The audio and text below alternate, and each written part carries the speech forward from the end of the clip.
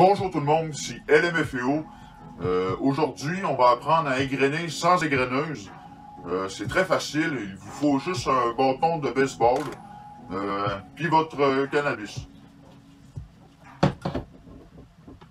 Prenez du tape.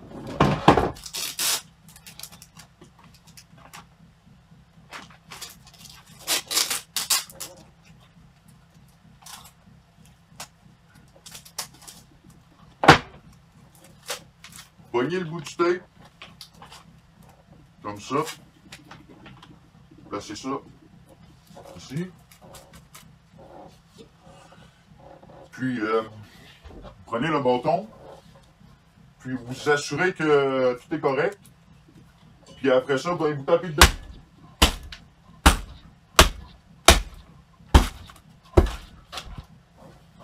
Fait que euh, c'était comment égrener du cannabis? Sans égreneuse. Ciao!